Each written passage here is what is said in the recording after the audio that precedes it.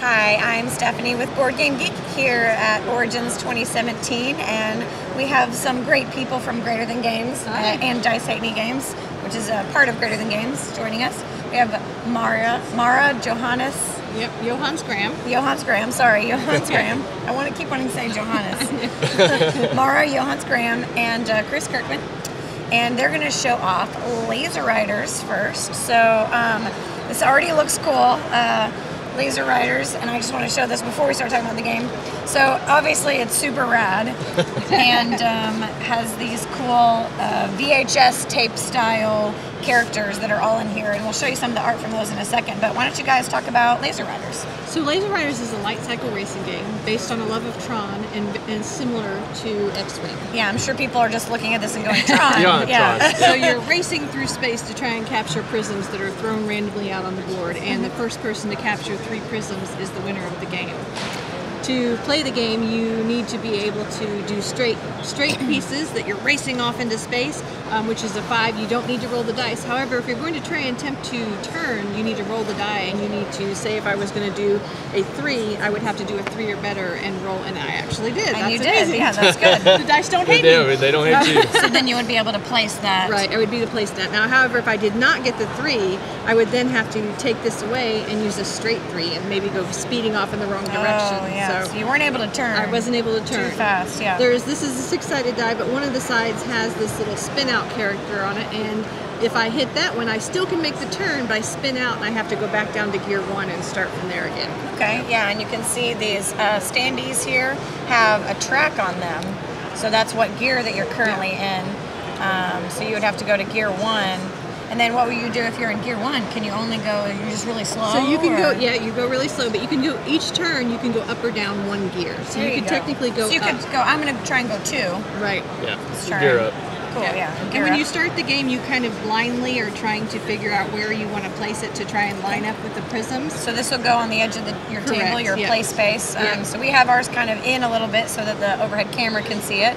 But yeah, you this would go on the edge of your Correct. defined play space, and then you can start from there. Yep, so once- you might want to go. How am I gonna? Yeah. If you're setting up, maybe you don't have this yet. You're like, I think I could angle that and hit that prism. You know. So then, then maybe you kind of try and go for that. Yeah, and you can play off of any one of the sides too. Oh, so, and that's then while cool. you're setting up, while you're doing this, you're also going to hold up what gear you want to start off in. And if you and someone else at the table hold up the same gear, you both have to start in one. Okay. So you might go. I'm gonna go quick. I'm gonna go five, and then someone else holds out five. You're like, oh no, No, you both. Yeah, yeah, uh-oh. yeah, exactly. You both, you both got to go for one. So, Yep. um, so yeah, so you're going for these prisms. So inevitably, these are going to run into things that aren't prisms like each other. So what happens then? So here comes the next bit of it. Um, when you're when you're trying to both race towards that and you accidentally run into one another, the point of impact of the person hitting the other person is where they. So let's say So, yeah, let's, say let's- my laser hit here here for you. You would lose this bit from down. However, I my entire track would explode into space. because you hit me. correct. Yeah, because it was I- your poor planning. Yes, exactly. So yeah, this would kind of obliterate, go back into your uh-huh. stack, and you'd have an actual gap, so people could race through that gap. absolutely. Okay, so how do I do? I start anew, or do I can I try? Well, you're going to continue racing with I this one, so you could even racing put that one out front here. Oh, yeah. okay, yeah. And it can be it. can be a strategic move too, because then you regain pieces of that size that you might need Right, yeah, because. Yeah, I yeah. guess So- you can't play them if you don't have them. It's Right. a limited amount Limited of pieces. pool, yep. Yep. So That's cool. So, so being hit isn't that bad. not terrible. Okay. Well, It can be bad, but it can be also a it- strategic move. and it's so. also can be fun. Yeah. so each of these four uh, VHS style uh, containers are a different character, right? Correct, yes. So who do we have here? Who's this? This is Phantom Cosmonaut. Phantom Cosmonaut. And that is this Super one- Sheriff. Super Sheriff. So we also have Laser Shark. So I just I want to pull that one out for sure. So there's Laser Shark here. Let's actually just look at all of these other ones. Beautiful art. Who did the art on this? Blood and Chrome. Cool. Yeah, great name, right? Yeah. I don't know their real name, but Blood and Chrome. Galactic Wave Rider. Galactic Wave Rider. Yes. So something to make note of too is that, that They're all the- different. They're all different characters, but when you pull out your tray, actually all of your pieces normally would Normally. fit. We've got them all We've been, uh, quickly, yeah. Yeah, we've been playing Yeah. around with it, but they all fit in here, and Yeah. then you just sort off like your little VHS Yeah, tape. you just put it in there once you're done watching that movie. Yep. I want to see what color the shark is. Okay, so it's like a deep red, blood red. Blood yeah. red. Yeah. I had to have that in there somewhere. Yeah, yeah. So those are the cool. Those are the different characters. And I mean, you had mentioned. Go ahead. I was just gonna say they all have uh, special abilities that you can use in the advanced game. That's just what I was going to ask about. Yeah, good segue. You've been doing this before. Hey. Not my first rodeo. yeah. so um, on these other prismatic cool pieces, there are some special abilities, and each of them are different. Right, they're For the They're very different characters, characters. yeah. So for um, Phantom, you cannot crash this turn. Skip the crash phase of your turn. So how do they activate these? Like for Phantom flip them over. Cosmonaut? Yeah. So like if the? Phantom Cosmonaut was running along here and was about to go through this, had put down the two and would cross that, you just flip it over and he's like, oh, too bad, I'm a ghost. Nope. Yep. So Okay. So nothing would happen to this. nope. It's just Rider, like as if it doesn't even exist. It just Yeah. passes right underneath. Yeah. Yeah, that's awesome. And you can do that even before. You don't have to declare that. You could just go. You could go, oh, I messed I'm up, and then you flip it. Probably gonna go. Okay. Cool. Yeah. So you're just like, nope, that's not gonna crash. Awesome. So what are some of the other abilities that the other characters have? Um, so we've got Super Sheriff. Super Chef. He's is he gonna arrest people or? Let's see if we can find these right off the bat. Here's a blood red one. Yes. You might. Oh, yeah, Did they that's all the disappear? advanced- They are MIA. It's- I was gonna Oh, wait. Wait, there's No, they're There's all one mixed there, together. Oh, one Oh, and I'm, Yay. I'm messing up everything. It's, it's the advanced ones. You might have them back again. Oh, there we go. Instead of placing your normal laser piece, you may instead place two hard turn laser pieces of your current gear without rolling to turn. Wow. Very that's cool. flexible with his movements and things. I mean, things. that's the Galactic Wave Rider, so Yeah. that makes sense. He's gonna like super hang ten Yeah. on the lasers.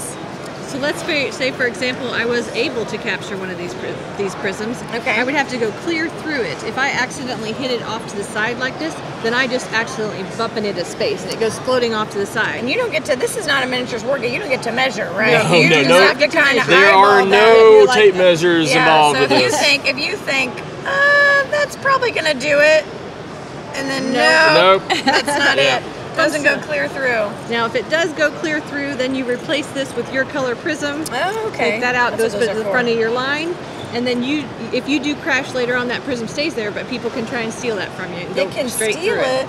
It's a safe zone. Yep, they Oh, can go right through it and steal it right from you. That's not cool. I don't want that to happen. Um, there's also this, I don't know if you can see, but this die is totally far out.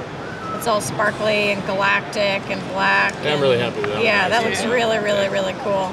Um, is this the only this the only one you need in the Yep, game, that's right? the only Just one you one need. That's cool. What are some of these things? Is this like So this is the turn order here. Okay, there you so go. I, I have each each turn is based on the speed that you're at. So say you were at level 5 speed, then you would be first, and so on and so Mm-hmm. Oh, forth. So it adjusts. Yeah. Yep, and if there's a tie, whoever is closest to the tie to the left is the tiebreaker. So if you both were in gear three, then Gotcha. the closest person would be Ah, okay. going next. So Cool. So I just love these pieces.